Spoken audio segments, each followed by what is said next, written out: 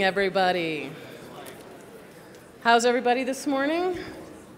Good. On behalf of the entire InfoCast team and the City of Denver, here on uh, our team on site and in corporate offices, we want to welcome you to the Denver Marijuana Management Symposium. My name's Gretchen Lusinger. I'm the president of InfoCast. Um, we're so excited to have you here and be partnering with the City of Denver for their fourth annual Denver Marijuana Management Symposium and our first year as a partner. And I would like to take a moment to thank um, the City of Denver, Bia and Ashley and Molly, and everyone involved for giving us this opportunity um, to put on what will hopefully be a great conference for everyone. Um, I would also like to take a moment to thank our sponsors, supporting organizations, and media partners for their support. Also like to thank all of our speakers and advisors for their input and participation in developing the content for this meeting, and of course all of you, the attendees, for making it possible for us to bring this conference to you. Before we begin, please allow me to announce a few housekeeping notes. Please wear your name badge throughout the entire conference. Your name badge grants you access to all the event sessions and hospitality functions. If you haven't signed in yet, please do so either at the attendee desk or the speaker desk and get your badge. Um, please visit our sponsors at their exhibiting tables located right outside of this room. Today's luncheon will be from 12:15 to 1:45 in the lobby over there. Um, the Crestone foyer, there will be seating in the Crestone ballroom, and then here there will be a buffet. So just kind of there are three different areas to come and eat your lunch. After lunch, we'll start the concurrent breakout sessions. Please look at the back of your name badge to see which room each session will take place in. Half will be here, the other half will be downstairs on the second floor in the Cripple Creek Ballroom. We will be doing an Amazon Echo Dot drawing after the last session today. Please fill out this drawing card. You must fill out a comment to be eligible for the drawing, and you must be present to win. So they should be all in your areas if you could fill them out. It, it really helps us too with the comments. Um, compliments are, of course, always nice, but suggestions for improvement for how we can make this a better conference next year um, are also welcomed. Um, also included as part of the materials, sorry, you received at registration is this pink fold, this pink slip. It shows you where the um, presentations will be available for download. Um, so every presentation that we receive, we'll put on the web uh, there. Um, join us for the networking reception this evening from 5 to 6.30. Right out there, we'll have a cocktail networking reception. If you're a lawyer and you would like CLE credits, please see the registration table for the form um, for you to fill out to um, get your CLE. And then uh, the law enforcement roundtable will take place tonight from 7 to 9 at the Crime Lab Auditorium. This is a private event for law enforcement only, and a separate registration was required. There won't be any walk in registration. So if you've registered, um, that will be tonight at the Crime Lab Auditorium. Sky has um, the street address too, she can give it to you out there. So, we are very pleased that Greg Felix and Judy Steele from Accela will be chairing this conference. Greg Felix is the Vice President of Strategic Solutions at Accela. In this position, he is responsible for promoting the Accela civic application for cannabis to government agencies across the U.S., regulating the emerging legal and often complicated cannabis industry. Judy Steele is the Director of Cannabis Regulation for Accela's Center of Expertise, a team of industry leaders with expertise in emerging and complex markets. In this role, she serves as a marijuana regulation and technology expert helping government leaders navigate complicated licensing and permitting challenges and preparing communities for what's next. Um, I would like to next introduce and turn the meeting over to Ashley Kilroy, who's the Executive Director of the Denver Department of Excise and Licenses. Um, a brief bio on, on Ashley. After nearly three years as the Executive Director of Marijuana Policy in Denver, she was promoted in October 2016 by Mayor Michael B. Hancock to lead the city's Department of Excise and Licenses. Excise and Licenses is the central business licensing department for the city and county of Denver and includes the Office of Marijuana Policy. The department manages licensing for a broad range of businesses, including liquor stores, bars, restaurants, marijuana stores, and cultivation. In this position, Ms. Kilroy maintains responsibility for the administration and implementation of marijuana policy for Denver. She coordinates the marijuana related work of various city departments, commissions, boards, offices, agencies, and employees, and serves as Denver's liaison to local, state, and federal elected officials, agencies, and other partners on marijuana issues. Um, so please join me welcoming Ashley Kilroy, and again, thank you for attending the Denver Marijuana Management Symposium.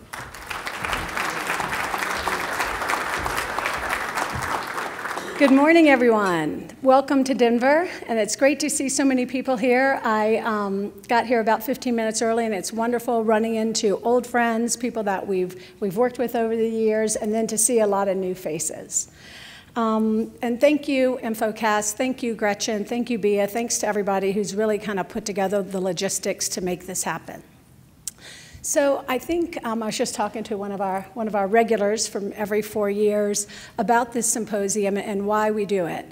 And we do it so we can all learn. We are in an area with marijuana regulation where it's brand new, where we're having to build the regulatory frameworks from the ground up. And even though we just met last year, it seems like things are, are moving so quickly. There's always something more to learn we cities are uniquely positioned to learn from one another, to share ideas, to hear what you guys are doing, for you to hear what, what we're doing, to take what's best practices and to implement and share it so that we can all become better um, city, cities and build better communities. Um, I think, you know, I guess the first year, Denver, we were the very first. So there was a lot that you had to learn from us. But very quickly, the rest of these other cities who are, who are on board and doing this too have also jumped in and doing things a little bit different than Denver. So it's great that we can learn from each other in that way. But I think even more importantly, what I'm starting to see is some of the newer cities, some of the people who are new here are looking at things differently, are coming up with creative ideas, and things that we, quite frankly, are going to be learning from you. Um, you, you might not have to be worrying about how are you going to do seed to sale tracking or some of that stuff. So you're able to jump right into some more, um, I'd say more creative and some more complex policy issues that we're excited to learn from you. Being first was not easy. We didn't have a symposium to go to, and we didn't really have anybody to call. But what we did have was a great leader and great vision. We were very lucky to have our mayor, who um, I guess even as this was all coming down, was, was thinking of a plan, was figuring out how this was going to look, and coming up with his vision.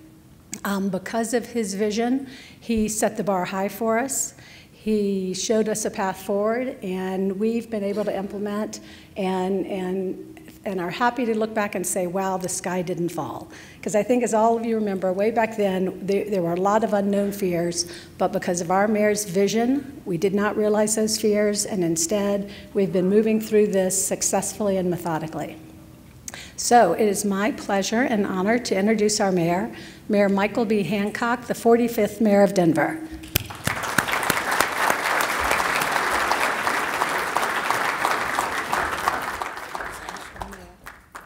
Thank you, Ashley. Good morning, everyone. It is a, a real honor to be here this morning. Let me uh, first uh, be the first, or second, or third, actually, to welcome you all to this symposium and to uh, say that in this room, not only are you our honored guests, but I'm excited that so many of our agencies from the city of Denver who've been a part of helping to roll out this regulatory and enforcement framework and education framework. Um, are in this room as well. And if I can just acknowledge our, not only Ashley Kilroy and her team, but the Denver Fire Department, Denver Police Department, our Denver Public Health and Environment, our Department of Public Health and Environment are here as well. Uh, probably our Children's Affairs folks are in the room. So if you would join me in thanking all of these folks who are very much a part of this framework and helping to make Denver um, not only a leader, but uh, really a, a casework on how to do this new industry around the world. Please join me in thanking all those department leaders. As I was looking at the folks who are registered here today, uh, I also took special note in the fact that uh, we have the, the, Netherlands and Canada represented in this room. Uh, I don't know where you are in this room, but we want to welcome you to the United States of America and welcome you to Denver, Colorado as well. On January 1st, Colorado will observe its fifth anniversary of rolling out this um, legal recreational marijuana industry. And I truly believe that when, when we all look back on this era of innovation and invention, if you will, in terms of an industry that had never been seen around the world, in terms of a, a legalized industry, I think um, we'll all marvel at what has been done, uh, particularly emanating from here in Colorado and particularly right here in Denver, Colorado. This is truly what I consider an example of good government. I was, I got to tell you, one of the first people, one of the main people in 2012 when uh, this campaign was going on who stood up and said this is not going to work. We should not legalize recreational marijuana in our city. Uh, we certainly shouldn't recognize it or, or, legalize it throughout the state of Colorado. So I was a part of that chorus. As I look back on it now, um, some of the fears we had was we didn't know how it was going to impact our children. We had no idea how the federal government was going to respond uh, to this new industry. Um, we had no idea what it would mean in terms of crime um, in our cities, how our neighborhoods would be impacted. This was really our pool, our bailiwick of fear um, that we have seen um, in terms of people being engaged in drugs. And when it passed, and it was a very clear mandate by the people of Colorado, and I believe it passed by 61% here in Denver, Colorado. As an elected official, that gets your attention very quickly. And the people were clear about the fact that this was an industry or a move that they wanted to make. And as I began to investigate and talk to people who I really respected and really debate with them why they would vote to legalize recreational marijuana, it became pretty clear to me that it wasn't so much about, you know, really giving people the access to marijuana that really got to their attention. It was just that they realized that we have built industries and very expensive industries around marijuana convictions, devastating communities and families, and that we could do better if we regulate, if we enforce, if we tax this particular drug and bringing it to the public in a way that uh, wasn't as devastating to our communities. And so today, here we are, having responded five years ago to the mandate of the people. We're still on the leading edge of this issue, and we remain committed to ensuring that the regulations address both uh, current and future, future issues going forward. Um, because we still are learning. We still don't know what we don't know. Um, and we are very open to that. And the more we remain open to that, the more we're able to appropriately respond to things that uh, emerge from this legalized uh, uh, industry in our community. And change continues around the issue at a very, very rapid pace. Uh, but the collaborative approach, the framework that, that Ashley and her team have helped to not only create but manage over the last five years has helped us to respond quickly and effectively to address the issues uh, as they arise.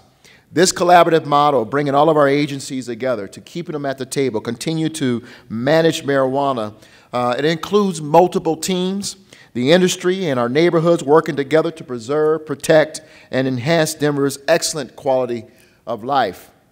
This work is grounded in the city's priorities of marijuana management, including robust regulation, uh, strict enforcement, and effective education. Now, after five years, I couldn't be prouder of the way our city has uh, gone about doing this work. We've been smart, we've been thoughtful, and we've come up with a model that the entire world is looking at, and one in which we continue, as I mentioned earlier, work to improve. In fact, uh, over the past few months, Ashley and, and I have hosted many of cities and states who have come to our city looking at our model and how they can implement their model. And as we see California and we see Washington State, we see Washington, D.C., all of these areas implement, we see very similar elements that have come out of Denver in terms of how we have implement the legal framework. A lot of this is due, again, to the exceptional work and leadership of Ashley Kilroy. And I love to tell the story where I brought her into my office and she was a deputy director of our public safety department, uh, which is not an easy job by any stretch of the imagination. And I said, I have one of the best opportunities you'll ever encounter in your entire life. And she looked at me and she said, What could that possibly be? I said, This is going to transform you like nothing else. I want you to be our director of marijuana policy. And she looked at me like I had a unicorn coming out of my head. What in the world? I think I said marijuana czar. And she was like, What in the world does that mean? Well, we walked out of that meeting, and Ashley was armed with a vision. We are going to make sure we build a rock solid regulatory framework around implementing this new industry. We need to give our enforcement teams the tools in which to enforce the laws that we build around this industry. We need to have a strong partnership with the industry and their players. They need to be at the table. They need to help build this because I believe what they build, they will support. And we need to do everything we can to protect our neighborhoods and our children. We need to make sure we educate because if we're going to have tax revenue come from this, part of that tax revenue is going to go to a strong educational model for our children and their families. Now let's go to work. I got to tell you, as a mayor of this city, I'm not a member of city council. I have made three, in the eight years, three visits to council committees. This was the very first one. And it was about sending a clear message to City Council that as you develop the regulatory framework, we need to make sure that we protect our neighborhoods, we protect our children, and we do this responsibly for not only for the people of Denver, but also for those who are in the industry. I got to tell you, that has made all the difference. And so today, five years later, approximately $584 million in medical and retail sales in Denver in 2017 alone. Denver accounts for 39% of all Colorado sales. After setting up this regulatory scheme, the first few years we're now able to deploy resources to address some of the most pressing issues of our city. Those tax revenues, which were $41 million last year, for forecasts for $48 million this year. We have used marijuana re uh, revenue to fix our roads, to maintain our parks, and just this year, in partnership with an industry that we helped set up a regulatory framework with, we agreed to raise the tax rate on marijuana to help double our commitment to affordable housing in Denver from $150 million to $300 million. Through this, we still have uncertainty at the federal level. When legalized marijuana was beginning to spread, particularly starting in Colorado and Washington state, the Obama administration's approach um, was to wait and see and see how responsibly you implement this framework. But the current administration continues to send us mixed messages. That is why back in June I brought together several mayors from around the country to form first of its kind government led coalition to establish a national framework to proactively prepare governments for implementation of legalized marijuana. With 46 states having some form of legalization, the reality is legal marijuana is coming to a city near you. As mayors of cities that have successfully implemented and managed this new industry, we have hands on experience that can help Congress take the right steps to support other local governments as they prepare to enter this new frontier and to do it responsibly.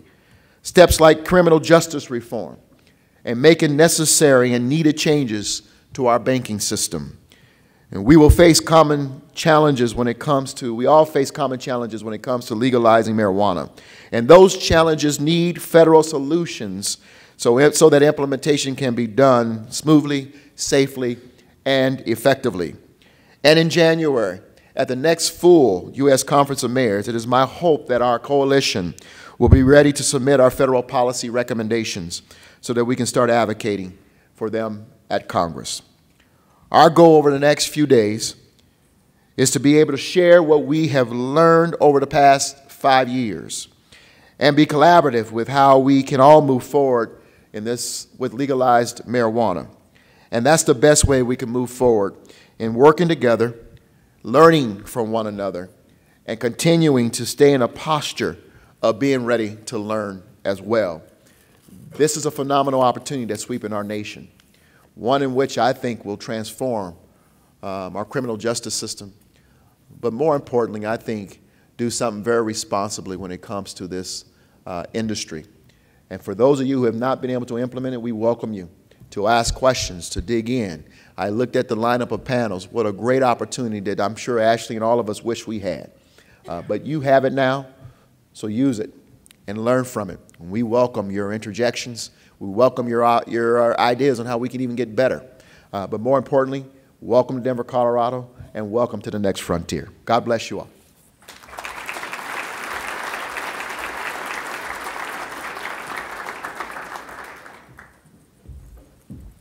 All right. Thank you very much, Mayor. Um, you know, in addition to what we're going to learn today in these classes, I think it's really important just making those contacts today, getting to know your neighbors, um, and particularly attending the, the, cocktail party, which is one of my favorite parts. Um, but I do know, just, just to tell you, just this month alone, I've spoken directly with my counterpart in Massachusetts. I spoke directly with my counterpart in um, Seattle. We had a multi call with about five people from Seattle and five from Denver. BS talked to people in Oakland and New York and DC. So you'll meet people at this conference that will be people that you can connect with and call. I know our fire department has their counterparts in other fire departments across the country. So, anyway, well, we're excited about the conference. We hope you, you enjoy it. We hope you learn a lot. And with that, I'm going to introduce um, our sponsor, um, Accela. Greg Felix is the Vice President of Strate Strategic Solutions um, for Accela. In Denver, we really do embrace that collaborative approach, whether it's in managing marijuana to dealing with our, well, even bringing the marijuana industry in as we're developing our regulations. But we really appreciate the hand-in-hand -hand and collaborative relationship that we have with Accela. Accela has built our licensing and permitting platform for marijuana um, the first in the world, and it's a great tool for us, and, and we continue to learn from Accela. So uh, here is Greg Felix.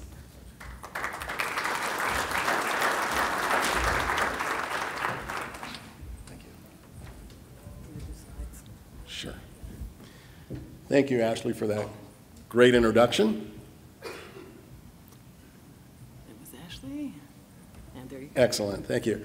Well, it's an honor to be here. Obviously, um, this is a unique symposium. As I was flying in, I was thinking, could we have imagined eight years ago that we'd be having a gathering of this size to talk about cannabis legalization to the level that we are? I think that really speaks volumes for the changes that are going on in society and also in our communities. And with change, there's always the need, especially with cannabis, to have oversight for all the reasons Mayor Hancock had, had cited, and for the reasons also that Ashley had mentioned. So today, uh, we have an opportunity to share with each other insights, lessons learned, best practices. And uh, what I'd like to do is just kind of issue a challenge to all of us. Reach out to somebody you've not yet met. Um, interact with them, ask them what they're doing, how they're approaching it, because this is really all about learning. It's about sharing with one another some of the hard lessons and some of the things that we know work as it relates to cannabis regulation. Our role as a company is to support this effort. We think it's a noble effort. We think it's the right thing to do. And how many times, if you think about it in, in history, uh, do we have an opportunity to take a market that's really been operating in the shadows and bring it into a legal framework? It's the right thing to do for all, again, the reasons that uh, Mayor Hancock had pointed out. So, uh, as a company, we are dedicated to you to providing the solutions that will support those efforts. Uh, we recognize the hard work and all of the, the really intense complexity that goes along with this, and it's our job to make sure that we provide you with the tools that support your efforts. And I think with that, what I'd now like to do is turn it over and introduce Mike Hartman, who is uh, Executive Director for Colorado's State, uh, Colorado's Department of Revenue. Mike?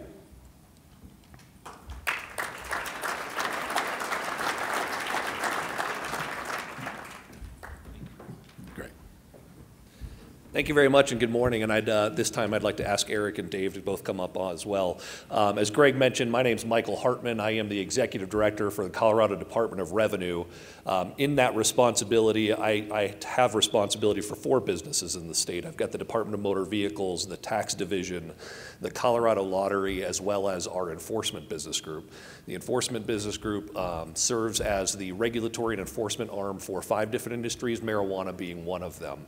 Um, so just to give you a sense as kind of how the state approaches things and, and, what the economic contribution of marijuana is towards the state, the Department of Revenue is responsible for the collection of about $12 billion of the state's $30 billion annual revenue. Uh, marijuana in 2017 accounted for $247 million of that. So it's a little bit less than 1% of the state's overall revenue. Uh, we have 1,500 employees across the Department of Revenue. Uh, marijuana Enforcement Division has about 120 employees excuse me. Uh, but given the fact that it's a little bit less than 10% of our workforce and it's less than 1% of uh, our overall revenues for the state, I was a little bit surprised when I took over this job 16 months ago to learn that it would take up about 40 to 60% of my time on an average basis. Uh, this industry is a fascinating one. It's one that continues to develop on a constant basis, and it's one where we have conversations every single day about what's the best way for us to approach this industry. Um, it, it, made me very happy to hear Ashley's remarks and the mayor's remarks as well, because I think they align very much so with how we view things at the state. We think one of the hallmarks of Colorado's success is our desire to have every single voice represented around the table when we're having discussions around regulations, when we're having discussions around market development, and it's important that we engage in discussions with communities like these to make sure that we're getting it right. Um, I don't know that you find that everywhere, but it's important to us that we hear from industry what are the things that we're doing right from a regulatory perspective? What are the things that we're doing wrong from a regulatory perspective? And so we look to engage with partners here in the local community in the state community, but also now moving forward with the international community. Uh, five years ago, when we all undertook this experiment, it, it Denver and Colorado really were the leaders in terms of stepping out there and trying to figure out how to do this.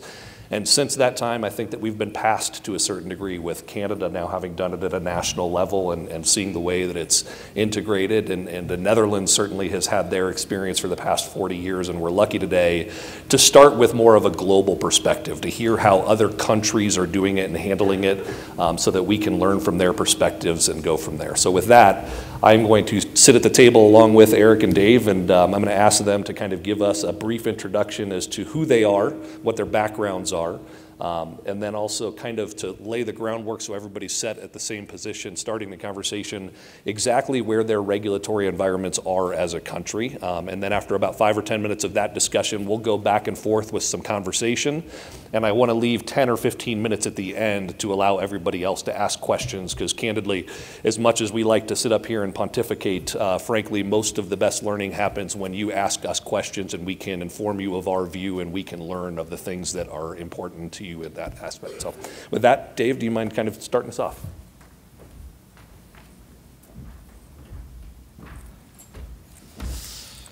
Yes, thank you very much. I had a presentation ready, a short one with only pictures, but I don't see it.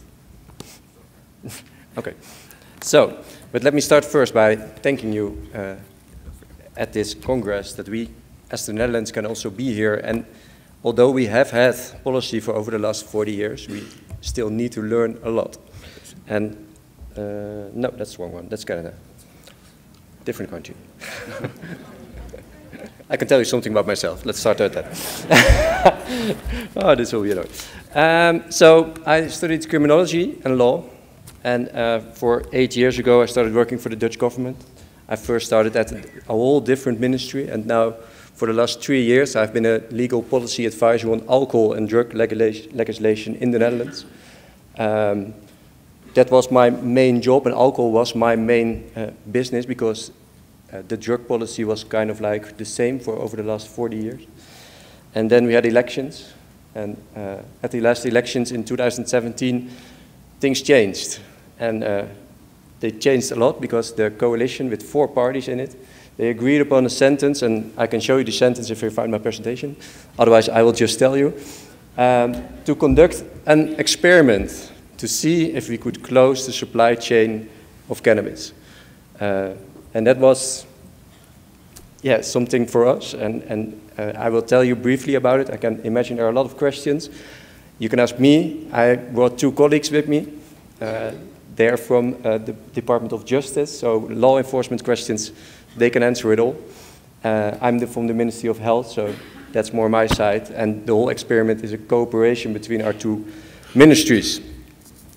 But to understand what's going to happen in the Netherlands, I shortly need to tell you a little bit about the current drug policy in the Netherlands. In the Netherlands, we have made a distinction between soft and hard drugs. Soft drugs, cannabis, mushrooms, and, and maybe some medicines. Hard drugs, ecstasy, cocaine, heroin, all the rest. Mostly of our drugs are hard drugs. And for the last 40 years, we have, we have had a special soft drugs policy the so-called uh, policy of tolerance. And the, this policy is that we have coffee shops, and in the coffee shops, if they apply to the rules, it is tolerated that they sell cannabis to consumers. The growing, the trafficking, and the selling not in a coffee shop is not tolerated in the Netherlands and is illegal. So, this resulted in a front door where you can, as a consumer, go into the coffee shop and buy cannabis, and in an illegal back door. We don't know where the cannabis comes from to the Dutch coffee shops. Um, I had a picture of the Netherlands now for you. The Netherlands is small. We fit into Colorado six and a half times. Um, and in the Netherlands, we have uh, 473 coffee shops in 103 cities. And in total, we have over 300 cities. So there are a lot of cities in the Netherlands where you cannot buy cannabis. And if you would look at a map, you will see that our biggest cities have a lot of coffee shops. So if you look at the map of the Netherlands, most of the coffee shops are concentrated in Amsterdam, you all know Amsterdam, and then some other cities, uh, but it is very concentrated. But the coffee shops had brought a lot of problems with it for the local municipalities, on problems on health-related issues, problems on uh, crime, undermining crime. I mean, criminals make a lot of money from uh, growing cannabis and then selling it legal to the coffee shops. So there was a call for the government to do something about that. And what can we do? So we agreed upon an experiment.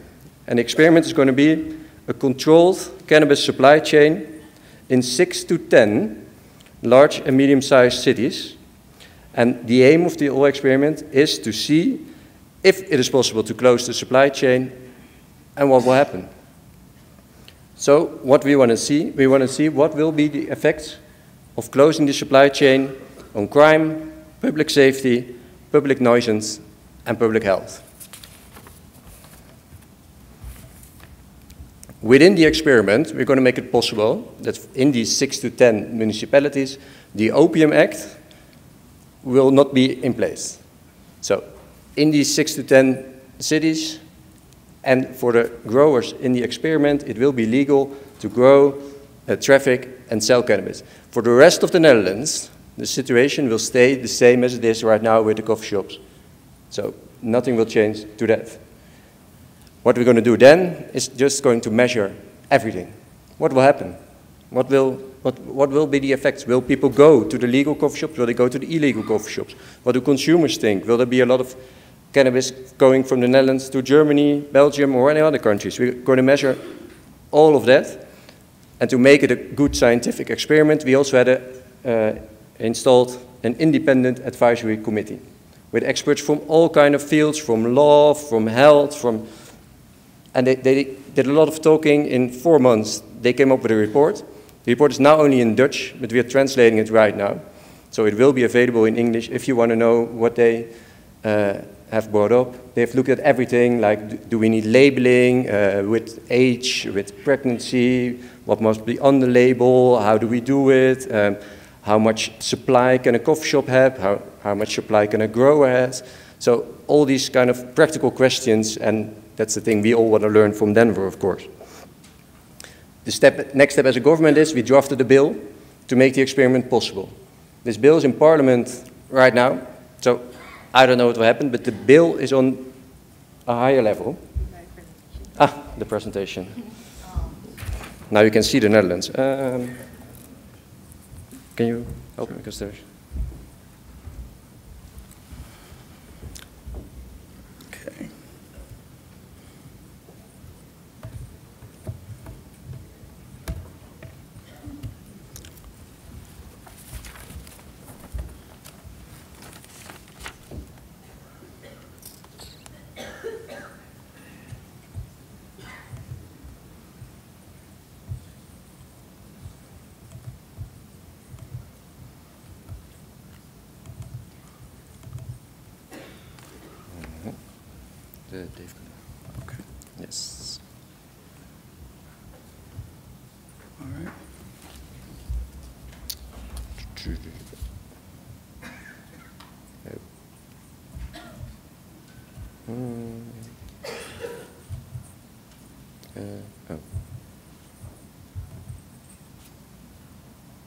I don't know how to make it bigger.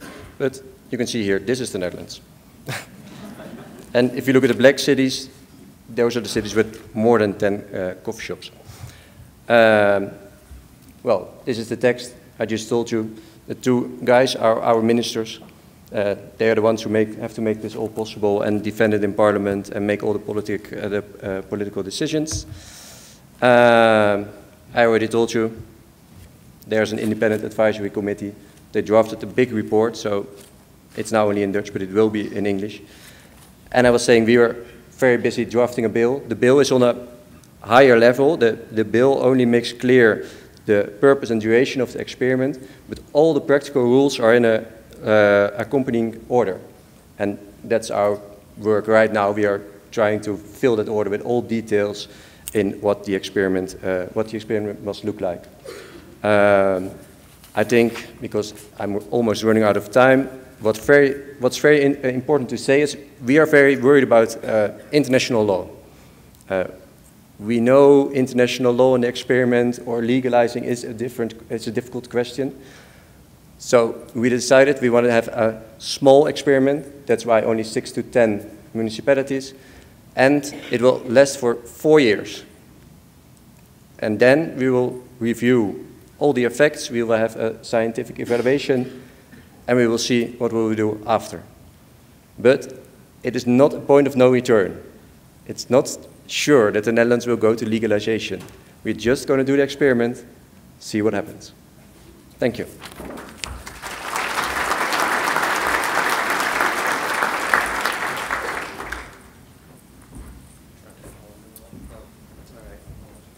Right. Hello, everyone. Uh, my name is Eric Costen uh, from Canada, which is not a small country. It's a really big country. Um, and we don't like to call what we're doing an experiment. Um, so, uh, who, who, am I, I guess, organizationally, just to give you a, a bit of a sense?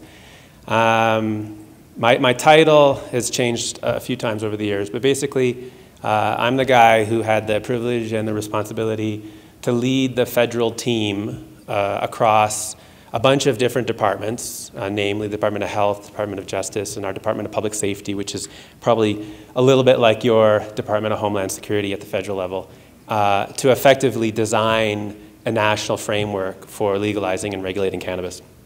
We call it cannabis. We used to call it marijuana, but we call it cannabis now. Uh, we used to call it marijuana, we spelled it with an H. Uh, I could tell you about that some other time. I think a lot of what motivates, what motivated the government's decision is it actually very consistent with what you heard the mayor describe. Um, the reality in Canada for the last 20 years, 30, 40 years, you can go back and look at the data for as long as you want, and there have been uh, extraordinary high rates of use, uh, and that's, that's notwithstanding some fairly intensive law enforcement activities. So the laws that we had on the books were quite severe, 25 to life for possession, 50% of all drug offenses were cannabis related. So, notwithstanding some fairly severe enforcement efforts, you still had uh, uh, one in three uh, adults the age 20 to 24 who would report using cannabis. Uh, over 50% of all Canadians report using it at one point in their life. And of course, not surprisingly, there was a multi billion dollar industry that kind of emerged right before our eyes. So the calculus is there's a lot better, there's a better way, there's a better control framework for managing the risks associated with that situation. So two weeks ago, uh, a new federal law was passed.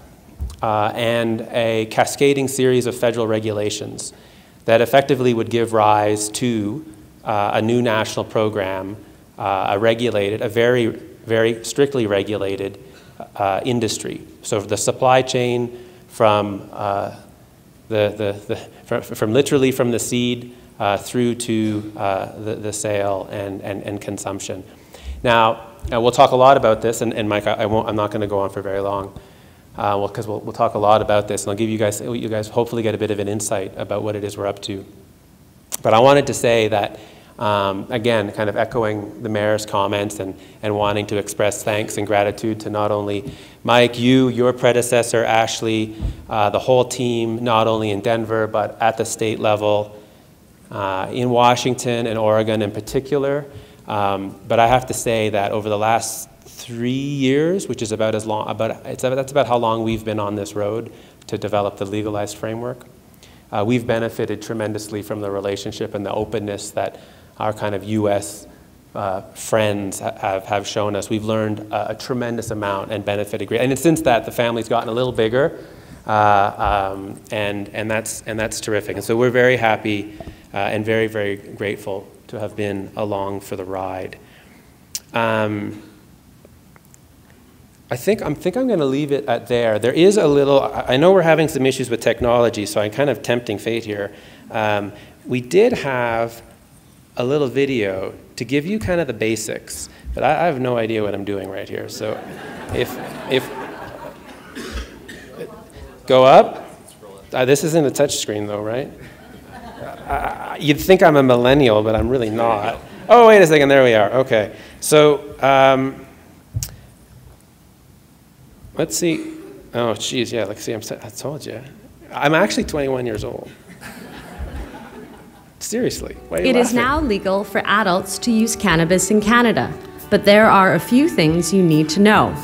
Cannabis became legal for adults on October 17, 2018. It's your responsibility to know what is legal in your province or territory, including the legal age and where you are able to buy and use cannabis. If you're high, don't drive or go to work. Store cannabis securely and away from kids, and don't travel internationally with cannabis. Whether you're leaving or entering Canada, it remains illegal to take cannabis across the Canadian border. Find out more and get the facts at canada.ca/cannabis. A message from the Government of Canada. So it, this is obviously an exceedingly complex topic, and communicating it has been something that I know other governments have struggled with. We have struggled with it. It's a, an emotionally charged issue. It's a polarizing issue. It's an issue that's infused, get it, infused, with myth and mythology on all sides of the spectrum. And so um, this, it's, this, this nugget um, really simply was uh, a kind of way to introduce you to some basic things, but I'm um, happy to, happy to be here, happy to have the invitation to be here, Mike, and uh, excited to talk to folks uh, over the next uh, couple days. Excellent. Thank you. Are these are these microphones on? Can you hear us? Yes. And I don't know if you guys need to turn yours on as well. But um, so one of the things we wanted to do as part of the conversation is to talk about some of the more challenging aspects we've seen across the state of Colorado, some of the policy decisions, um, some of the ones that are still acute that are out there that we're wrestling with, and get insights from these gentlemen on how their countries are experiencing those issues as well to maybe help inform our future policy discussions. Uh, from that perspective, let's start with social consumption. Um, you know, Dave, the Netherlands obviously for 40 years now has had the coffee shops and has allowed social consumption to exist. You appear to be evolving from that perspective now into having more of a regulated um, supply chain, if nothing else. What are your society's views on social consumption? How do you approach that um, from a health ministry perspective? Have you guys seen any concerning trends or any positive trends that you would comment on that front? And then, Eric, when he's done, I'd love to hear how Canada is approaching that and what uh, data you guys are looking to to understand whether social consumption is a good part of your policy or a bad part of your policy. Uh, yes. Well, yes, of course. We have had the coffee shops for 40 years, and most of our coffee shops, or a lot of our coffee shops, also have a consumption room where people use cannabis. Um, but I went on a tour yesterday here in Denver, and I learned there's a big difference between the using of cannabis in Denver and in the Netherlands. Um, you use it in all kind of products. Uh, you make a lot of it. Uh, you, you bake a lot of things with it. In, in the Netherlands, people smoke cannabis uh, most of the time with tobacco. And that's our main concern uh, for now, because uh, smoking rules are getting tougher. We are kind of following the, the states. Uh, but in a coffee shop, it will still be allowed to smoke cannabis. But it's only allowed in the, in the coffee shop. If you are outside in the Netherlands and you have cannabis with you, it is still illegal. I think that's also, I think people forget. If you have cannabis on you and the police sees it, they will seize it. You won't get punished, you won't get a fine if you hand it over voluntarily, but it is still uh, an illegal thing. Great. Thank you. Eric?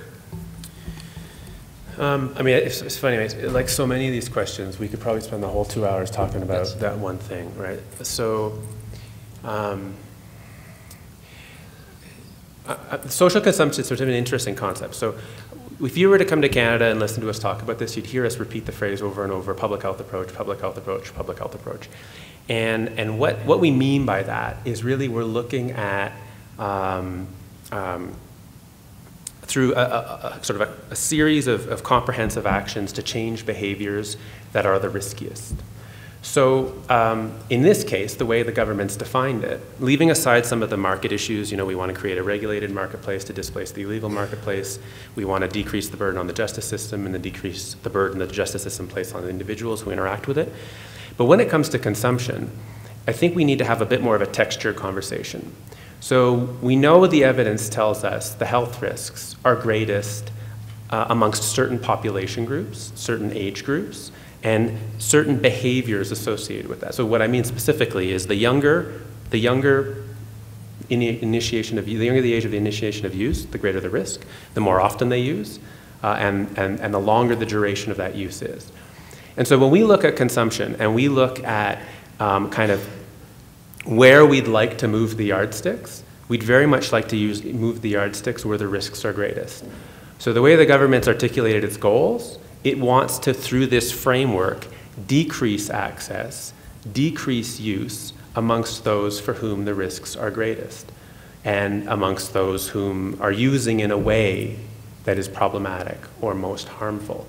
So occasional users who are in sort of the midpoint of their life, who are maybe consuming in non-smoked in, in a non-smoked form is, is a far less interest to us than a 17-year-old or a 21-year-old who uses on a daily basis.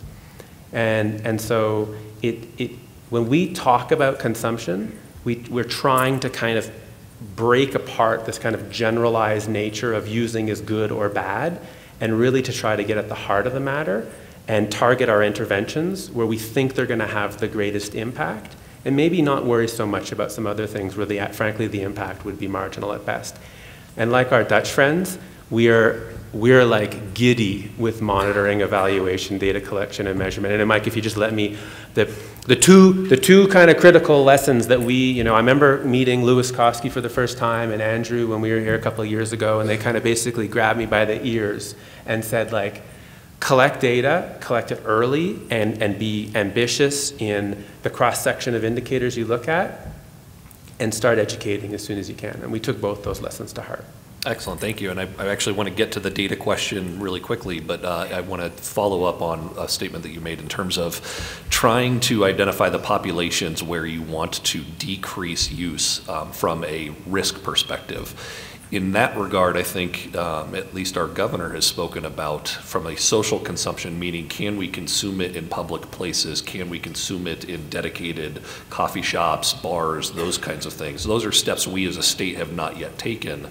Um, as you're looking at the actual areas where people are allowed to consume cannabis, whether it's in a um, edible form, in a smoked form, vape, et cetera, are you identifying the locations where it can be consumed with the framework of trying to minimize exposure to those communities that you may not want to partake as heavily as others. Yeah, yeah, absolutely. Although this is where this is where it becomes fun, right? So I'm the federal government, right? Federal governments don't typically regulate local matters in the way that you're describing. So what, when I say federal program or national program, what, what I really mean is you've got a national piece of legislation that kind of broadly defines the laws, and then within that, we have provincial and territorial, are equivalent to your state laws, where there's a tremendous amount of room to apply laws pursuant to the authorities of those particular governments. And then beyond that,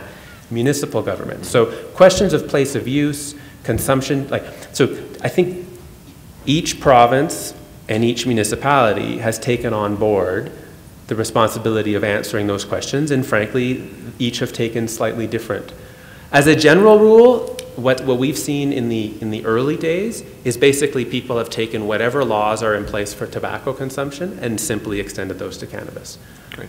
Thank you, appreciate that. So let's shift to data because you're right. Uh, the one thing that we say at the state level whenever other jurisdictions come to us is figure out the data you want to collect, establish baselines before you legalize, and then monitor, monitor, monitor. And unfortunately, Colorado did not do that. It's one of the lessons we learned, um, having been one of the fo uh, foremost legalization locations in the world what are, and Dave, let's start with you, what are the data points, the most significant data mm-hmm. points that you're looking at as a country from a health perspective, from a public safety perspective, et cetera, um, that you kind of are, are trying to test whether the experiment is going to be successful or not? And then as a follow-on to that, who ultimately gets to make the decision, yes, it has been successful, or no, it has not been successful? Okay. Yeah, that's a good question. Um, and, and I was trying to come back I wanted to come back to your first question. In the Netherlands, we also have uh, national rules um, for specific groups. So a coffee shop cannot be, cannot be too close to a school. Officially, you cannot go in there if you're not Dutch. Um, so we have some certain rules, but also, just like in Canada, it's the municipalities who make the rules. Okay. So they go for it. But for the data, yeah, we, we, collect a lot. We know, uh, we try to collect a lot of uh, using data. So how much do people use, uh, when do they use, and then compared to age. And but for now, they buy it on the illegal market. Um, so in the experiment, we want to see what happens. Do people go to the legal coffee shops? Are they first timers? Are they regular users? Do the regular users go to illegal coffee shops? Uh, do they, uh, what do they like? Do they like our cannabis or don't don't they like the controlled cannabis? Uh, what happened with hashies? Uh, so, and from a justice point of view, we look at uh, what happens in the neighborhood. Uh, and an important thing, of course, is that that we're doing that, this experiment came up from municipalities who had problems with undermining crime and all sort of things. So do mayors like the experiment? The 10 mayors who are involved in the experiment, or 6 to 10, what do, do, what do they think about the experiment? That will be collected all over the place, but we have still, we now have experts thinking about what can we measure? Because from a health perspective, it's very hard to measure if the legal cannabis has an effect on health. That will be something we have to measure in a long time of, of period. And your last question, who makes the decision if it's successful? Politics. Yep. We're going to give the results. We're going to tell them what happened. That will be not me, but an independent group of scientists and then it's up to Parliament. So it, you do anticipate, though, that it will be a parliamentary decision, not a vote of the people in any way, shape, or form? No, but a vote of the people, we, we don't really have a vote of the people. Okay. You, you, you vote for Parliament, but we don't have, and, and we even, no, we don't have referenda anymore. So there, there will be no, the vote of the people will be that they chose Parliament, and we will choose again in three years. Perfect. That's thank, it. Thank you. And Eric, let's talk about your data. Yeah, sure. So, like I said, so it was an early, an early lesson that we, we took to heart. Um, so, so frankly, um, there's probably a lot of different ways I could answer that. There's a bunch of different, there's a, there's a bunch of national data collection instruments that we've deployed, uh, including uh, an inaugural uh, Canada Cannabis Use Survey. So, and it's been in the field twice now already. Um, we have a good partnership across a whole variety of sectors that would be collecting all the data that you would imagine we would be collecting, and probably a lot of data you wouldn't imagine. So there's a whole series of, as has been suggested, I think fairly obvious health questions and maybe less obvious health questions. I think we're, we want to make sure that we understand not only questions of cannabis use and prevalence rates, but how those use correlate to uses of other substances and other behaviors. A whole kind of panoply of health indicators from the, you know, the, emergency room visits and poison control stuff and all of that, all, of the, all that sector. But then there's a series of justice, economic, um, across a broad, sort of a broad array of, of sectors. We've got a fairly well developed framework that sort of itemizes all these things. But I think the most exciting part of all this is we have a, at, at the federal level, we have a national kind of an institution um, called Statistics Canada, which is really the keeper of all kind of, of all, all data. Um, basically like a, they're, the, they're the ones that would do our national census and these sorts of things. Can you imagine there is actually something out of this institute, this federal, this federal agency that is called the Cannabis Stats Hub. And it's a, a place where we proactively push out all of this raw data that would not only allow governments, but then allow the research community, academics, the private sector to kind of look at it and to get to your question around who ultimately decides. I mean, I think it's a very specific question for what's happening in Holland, but I think for what's happening in Canada, I mean, his, the history books will ultimately be the final kind of um, sort of judge, judge and jury. But what we're doing is in an effort to tell the Canadian story in as transparent a way as we possibly can and to facilitate a good, clear-eyed sense into what's happening and its broad-based impacts, all of this data is being made public through this, uh, this can Cannabis Statistics Hub. And is that hub politicized in any way, shape, or form? Is there disagreement about the facts, or are the facts the no, facts? So that's so. Um, I mean, without getting too far into the weeds, um, the uh, th this institute is, by its creation, uh, uh, not, not, it's apolitical. Um, and so it, it, it, exists free from the prevailing winds of politics. Uh, and I think because of that, um, the data will have a, a, tremendous amount of integrity. Um.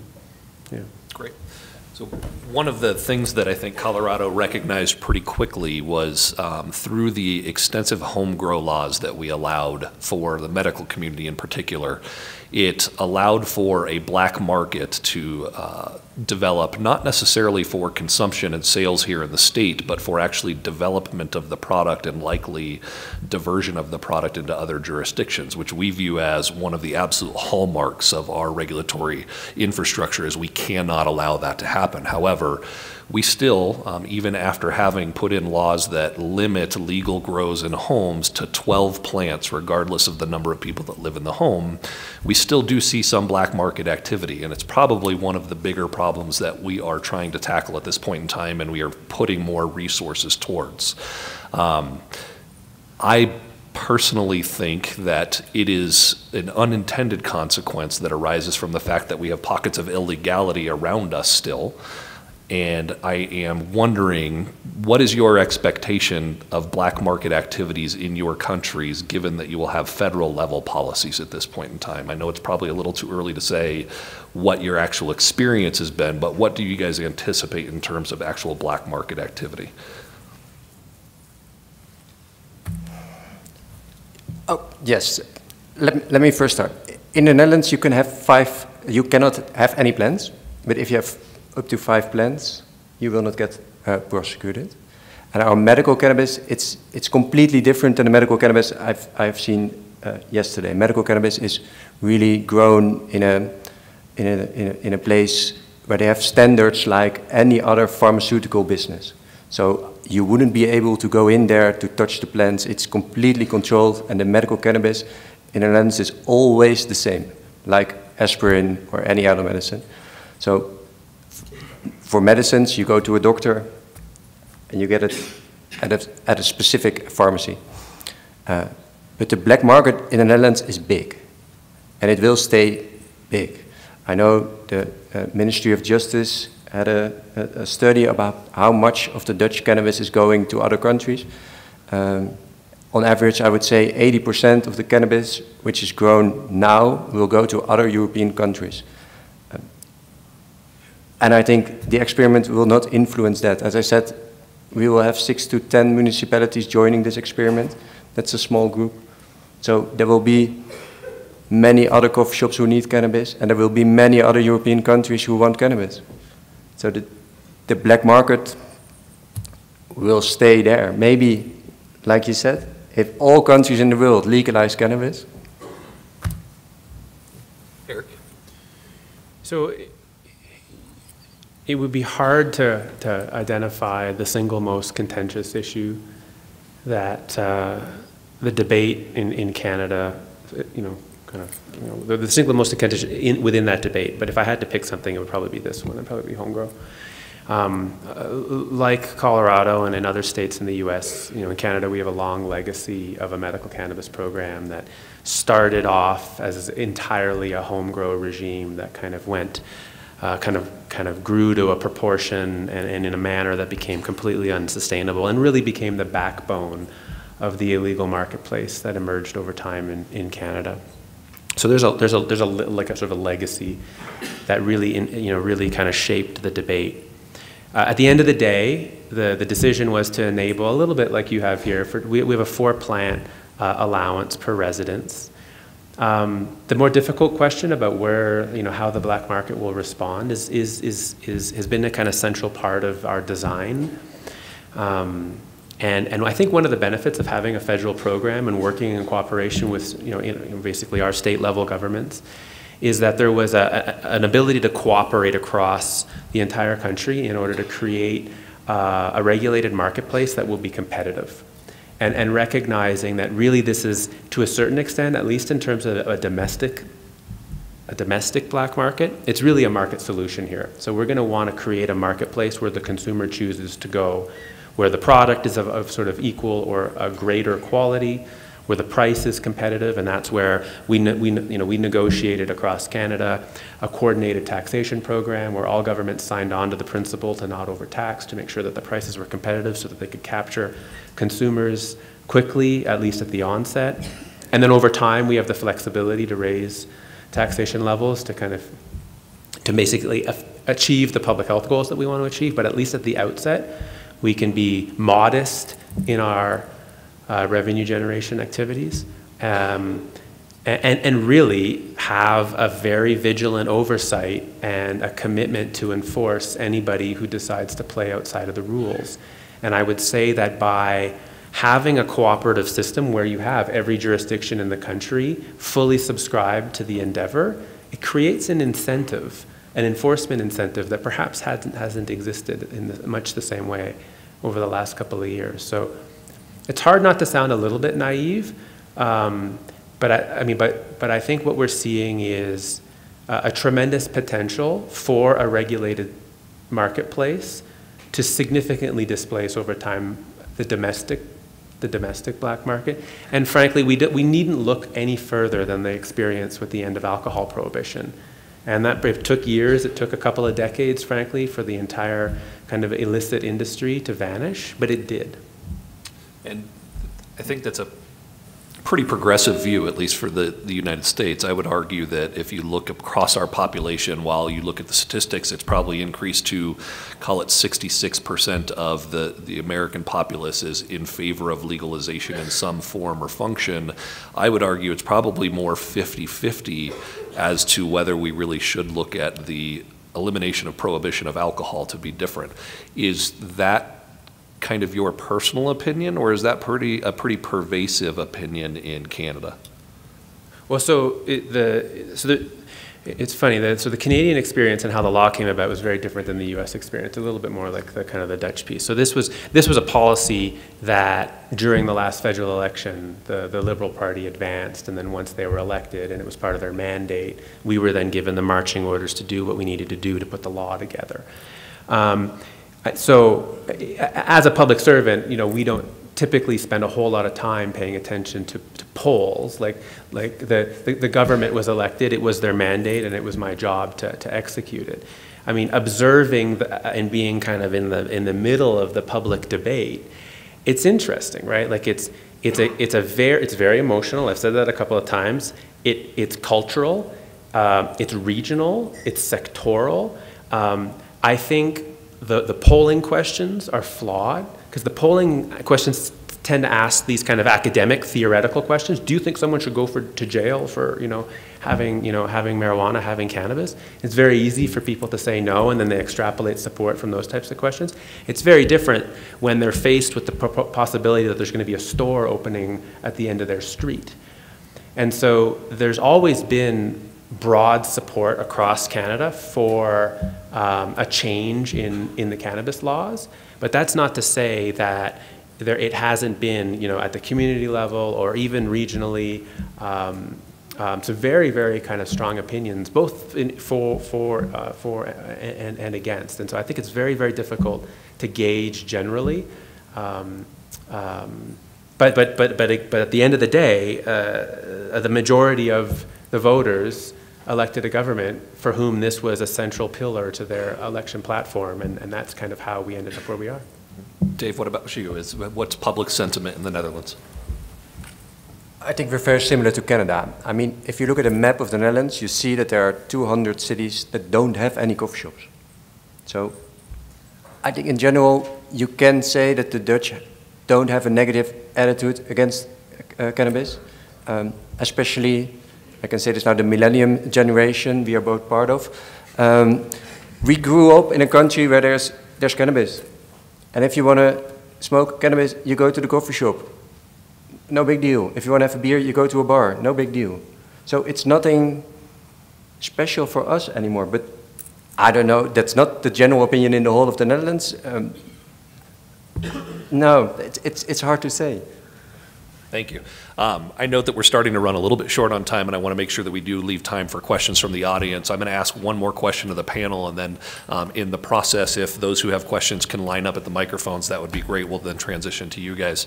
Uh, so in the state of Colorado, I'm responsible for, along with the team that informs all of the policy decisions and discussions, signing off on the final rules um, that regulate the industry for the state. And I think from that perspective, it's important that we all have a lens through which to view that conversation as we're all coming to the table to discuss um, the rules and the regulations the lens that I've provided my team with and the way that I think about the, the overall industry is we have the Cole memo that was in place until recently at the federal level, and it identified eight things that we had to comply with in order to keep our federal government um, at least uh, a little bit at bay in terms of what our programs are. I really think those eight or nine things boiled down to three things. So we describe it as having an overarching policy of public health and safety. That's always going to be our default, and we talk about that every single chance we get, public health and safety. But other, underneath that, the three prongs are number one, keep it out of the hands of youth, number two, keep it out of the hands of criminals, and number three, keep it out of other jurisdictions. What would you communicate as kind of your guiding lens through which you guys look at putting the regulations in place within your countries, or is that mandated by some other government? honestly, it would be very similar to what you just enumerated, right? Like, so the federal legislation actually, in, it, in, in the opening pages, articulate what the kind of the goals are, and in many ways, you just articulated them. So I think that the driving, the driving, the driving goal is uh, expressed in terms of public health and safety, decreasing youth access. It's about uh, you know, the, the vernacular is get it out of the hands of criminals, but it's really about kind of displace the illegal market, replace it with a highly regulated one, which will also have, you know, protect consumers by having a quality controlled product. And then there's a sort of, sort of uh, series of, um, of sort of, sort of secondary uh, objectives that flow, flow from that. But I don't know that that broad frame is, is, is very, very different at, at all. Um, yeah. Great. Dave? No, I think, I think in the Netherlands it's, it's kind of the same. I think a, a difference is we have the, uh, the age at 18, you have the age at 21. Uh, but we want to protect people under 18. That's why coffee shops cannot be too close to schools. Uh, and we, of course, want to keep it out of the hands of criminals. That's why we want to do the experiment because of all the undermining uh, criminals. And I spoke to a, a, public defender uh, once, and, and she told me all criminal activities, all criminals are into cannabis. So I don't know if that's true, but that's, that's of course a main focus for us. Any questions out there? I don't see anybody lined up at the, uh, at the microphone, so I'll, I'll keep going on my side then. Someone's, someone's coming Oh, through the go light. for it, yes, please. Hi, I was waiting because uh, I'm from Denver, so I didn't want to. Uh, but, anyways, I have a question for Eric and Dave. Uh, I think a main difference from both your countries to the US is a very strong welfare state with a free health system, right? So, how do you see legalization impacting the health system, and are you prepared to deal with that? I don't know if, if, if it will make an impact on our health on our health system. I mean, what I just said, we, we have this policy in place for, for over 40 years. Um, if you look at numbers, we have the lowest incidence in Europe and maybe even worldwide if we can compare it. Um, so from the Ministry of Health, um, we are doing quite fine. We will say at first, please don't use, but if you use, we will give you a lot of advice on how to use it. Um, and that's going fairly good, especially with cannabis, if you look at incidents. So. Yeah, so my answer is not a whole lot different. It's, it's almost, but, but the, the premise of the question is kind of, it's kind of interesting. And it's, we get a lot of questions like this. And it's, it's, the, the premise seems to suggest that by the change in law is either going to, is going to introduce a new problem in, into society that in this case, the, the health system will have to bear the brunt of but I'm not sure that that's the right premise. It's certainly not the one that we've taken as a government, right? Like the idea is the problem as it's been in place for years and years and years is is bad and is unsustainable. You know what I said earlier: like one in five teenagers, one in three uh, between the ages of 20 and 24. So that that's where we that's where we started off in October. So the the, the, the proposal is that we can do better than that with these new tools that we have in place, and so yeah, there's, there's been a, a, ton, of, ton of discussion with those in uh, our healthcare system. But again, the, the, the idea is to actually uh, decrease the, those numbers and, and, decrease the harms, the health harms, to your question specifically. Um, so whether and, and, so in, in some ways all of the questions that we get around you know sort of as soon as your law comes into force all of these new problems are going to emerge.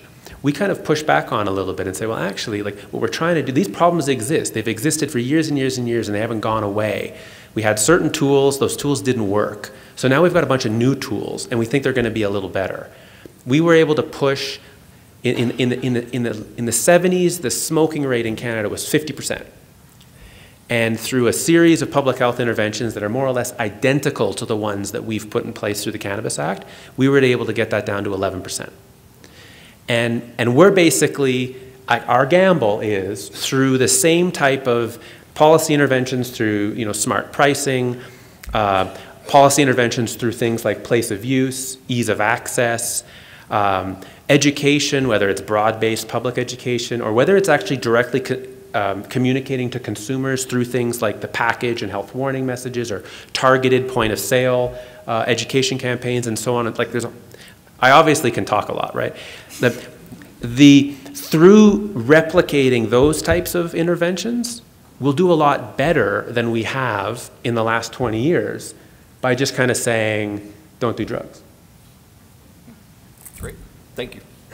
Uh, hi there. Uh, thanks for coming, gentlemen. Um, my is Murray Knowles. I'm with Ottawa City Police in uh, Canada. My question is for you specifically, David. And if you could go uh, into a little bit of um, specifics in regards to the independent advisory group, um, maybe mandate um, what makes them independent, uh, and just a little bit about that, that'd be great. Thank you. What makes them independent? Well, we, um, we formed the commission, commission uh, by law and we looked at, an, uh, at a chairman. We appointed him in an, in an, in an act, I think you, you would call it. Um, and he got the specific assignment by both ministers. And both ministers said, I don't care what you find. You find it and publish it. And you form your commission. So we only appointed the chairman. There, Knottnerus is his name. And he found all the experts. He did all the talks. We weren't part of all the talks. Um, we just were there when they had a meeting as a listener. We had no voice. We had no. We could not influence the report on on any way. And he published it and he gave it to our minister. And there are things in there which are kind of difficult for us, but yeah, he is independent. So that's great. Over here. Good morning. Uh, Tom Polk from Sarasota, Florida. Given the fact that this, session is on regulating marijuana, I was going to ask um, both your countries are involved with industrial hemp. And is there a distinction in your regulations tied to hemp, industrial hemp, and CBD extracts versus the marijuana? Um, it's becoming big conversation here in the States, but I know you've, both countries have had a long history with, with that product for some time. Thank you. Uh, yes, that's different. We have a, a, special rule in our Opium Act for, uh, I think the correct translation would be fiber hennep, that's what we call it. Um, and it's uh, European, European ruled. So there are specific uh, rules. There are only, I think, five seeds you have to use. You have to grow it in the open air, full ground, um, and it has only, it, it can only have like 0.2% of THC in it. But our fiber hennep, to call it this way, can only be used for two things, to collect the seeds or to make, uh, to, to use the strains in it. So uh, that's it.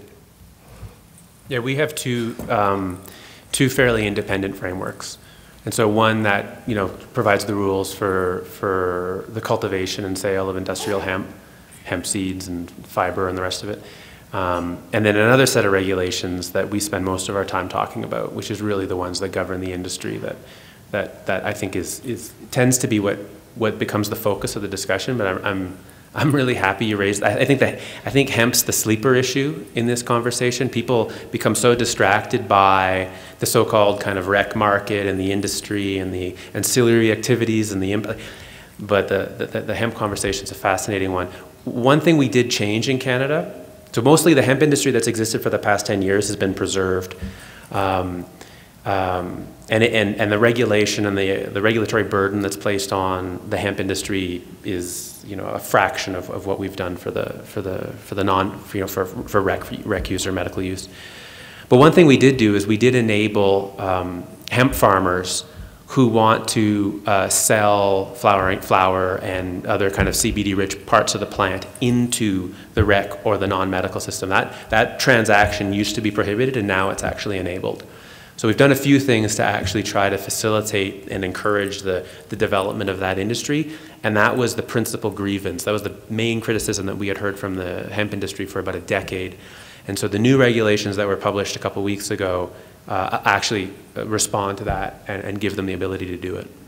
And we, in the state of Colorado, have had a prohibition of hemp products being able to be sold through our licensed dispensaries in the marijuana side. However, um, the industry just went through a sunset process, which is the, the Department of Regulatory Affairs here in the state of Colorado looks at the regulations and then makes proposals on how they should be adjusted. And one of the proposals for um, the difference between the marijuana, or excuse me, medic medical marijuana and recreational marijuana is that we should allow for CBD and hemp-based products to be sold into the, the regulated marijuana space. So um, that hasn't happened yet, but it will be a part of our discussion going forward as well. Yes, sir. Good morning. My name is JB Canifax, and I'm a prosecutor with the Denver City Attorney's Office. So um, I see that both of you come from a health background, so my question concerns pesticides and herbicides. I know that actually ingesting carcinogenic pesticides can be bad when it's on things like food products, but I know also actually burning and inhaling marijuana that has pesticides on it can be even worse. So my question is, do you either of you have a plan in place to make sure that the marijuana is safe for consumption in your respective countries, or will there be a way to notify consumers of what pesticides has been sprayed on their products? Yeah, the pesticide problem, that's, that's one thing I wanted to learn from Denver. we, um, uh, I, I think we, we would go, if it's possible, for the no use of, of pesticides at all at the growers in the experiment. Because we do not know, the pesticides are tested on, on tomatoes and apples, but they're not tested for smoking. So we don't know if they're safe to, to, to put on cannabis. Um, but I heard yesterday that you only use some green pesticides, and it seems that you have a lot of cannabis. So I think we will go for as, as less pesticides as possible, and the growers will have to test their cannabis like uh, you do here. So we, we've lived this uh, more or less alongside you guys. And I think Oregon was the one who really um, kind of lived through it hard uh, initially. So we have at the federal level um, a fairly comprehensive policy with respect to the pesticide use uh, in cannabis. Um, uh, so that, that's, that's available, like it's a very technical document if anyone wants to kind of get into it, that's the best place to go. We also have a federal agency that is responsible for governing the use of pesticides across all kind of commodities and, and, and those rules apply equally to cannabis. Um, um, sorry, I lost, I lost my train of thought there for a second. Um, we, uh, the, basically we have, uh, through that pest regulatory agency, we've got a list of 22 approved, federally approved pesticides. Um, those are the only ones that are allowed to be uh, used in any way, shape, or form. Um, we have exceedingly strict tolerance limits with respect to um, monitoring the use of any uh, pesticides that are not um, on that list. Uh, we have experience in doing national level recalls when uh, we have found evidence that unapproved pesticides were used.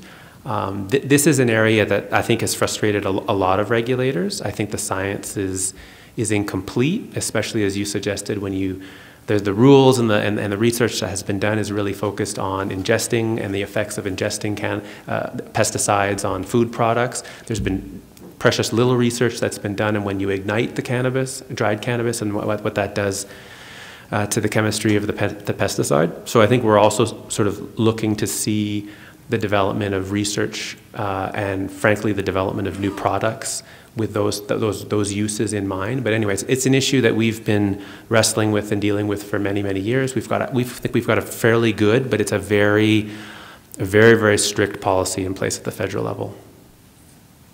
I know we've got time for two more questions. Let's start over here and then we'll finish over here. Hi, I'm Diane Carlson, and I've been involved in the policy looking out for kids. And I'm just curious how Canada plans to educate and regulate around THC potency. I know that's been a big, big issue for us here, and I was just curious what your thoughts are on that. Yeah, so at the risk of Mike kicking me off the panel, perhaps we should talk a little bit uh, at the break. So, but but so there's, there's, there's a, whole pile of things, right? So there's, there's big education. We've got a $100 million uh, federal education program uh, that has a bunch of different target audiences. Parents and kids are kind of chief amongst them. We have a whole series of regulatory controls with respect to the information on the package, the nature of the package. Um, I, I, didn't mention it explicitly, but I should, I should have probably uh, clarified that two weeks ago we only made legal dried flower and very low potency cannabis oil. Reg federal regulations for other products, so edibles and concentrates, which are the ones that present, I think, the most, the greatest risk with respect to overconsumption by any, you know, at any age group or accidental con consumption, um, particularly by young people. So we're about to kind of launch a public consult, a national public consultation on those regulations, and you can bet that your question and the kind of getting to the heart of the risk associated with those products um, and, and a, a, series of kind of regulatory controls that will be tailored specifically to getting at the, the problem you're flagging. But it's a, that's another, it's a huge, huge conversation I'd be happy to talk more about, but I won't right now. That's great. We can learn a lot from you, so we appreciate that. Yeah. Thanks. Yes, sir. Well, I have a highly, highly technical question for Eric. Um, can you elaborate on the transition from the use of the word marijuana with an H to cannabis? No.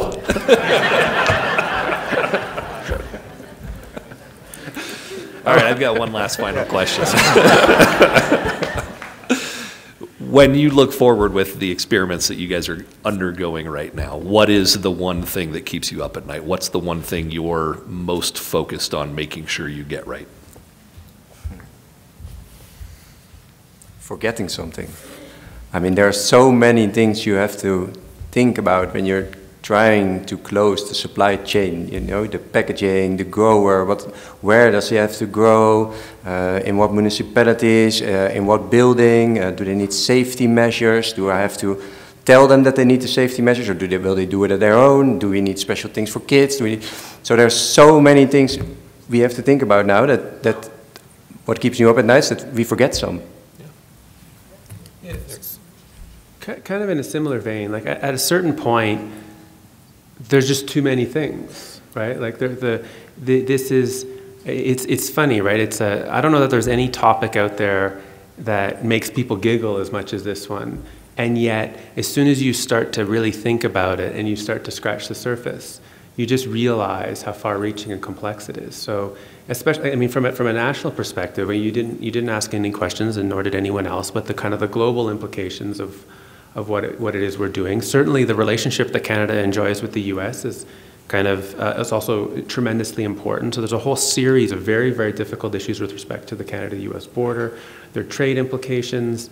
Um, um, and, and, all manner of complexities to how this thing's going to roll out. But I think what I've observed, um, and why none of that does keep me up at night, is at a certain point, you know, two or three years ago, you know, you'd go to the office and there's only a couple of people working with you, and you'd pick up the phone to try to talk to somebody you know, ask, you know, the, asking the federal Department of Agriculture how they were thinking about their, their crop subsidy programs and how they were going to adjust their policies and whether they were or not.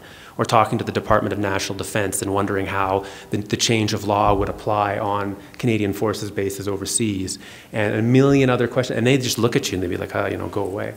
And then at a certain point, you, um, you know, like, you're not alone and there are literally thousands and thousands of other people who are deeply invested in making this a success. And so I never had, I don't have any problem sleeping at night because there are a lot of people rowing this ship all in the same direction. Um, and yeah, the problems are really tough and the solutions are not always immediately apparent, but you're, you know, you're no longer alone. And again, it kind of takes us full circle. And it's, it's been uh, that sense of not feeling alone has been even greater when we were able to pick up the phone and call, you know, Rick in Washington or Steve in Oregon, or like, and, and, and, and you guys here, of course, and it's and that's been terrific. I, I appreciate that, and it's actually a good way to wrap up and end and, and say thank you. You know, when I first started in this role about 16 months ago, very shortly thereafter, I had the opportunity to come up to Canada and to speak with your parliament about our experience and um, had the pleasure of sitting down and having coffee with you for an hour. And it's actually, we had a fabulous conversation, but what I really took away from that conversation was, oh, wait, I'm not alone. There are other people that are out there doing this. There are other people that we can reach out and, and have conversations with and collaborate with. And for those of you who are in the room or thinking about going down this path that haven't yet gone down this path, know that um, the regulated marketplace is one where we collaborate constantly, both with our other states, with the municipalities that are going through it, as well well as with our federal partners as well. Um, we regularly bring together all of the states that are looking at legalization or have legalized to have policy level discussions around how are you handling these issues like pesticide, these issues like black market activity. And it's that debate and that dialogue that really allows for us to improve on an ever going basis our regulations and hearing from gentlemen like these who are doing it at the federal level as well is extremely beneficial too. And just want to say thanks to both of you for traveling such a long way to join us here today and uh, for sharing your knowledge. Thank you. Thanks, everyone.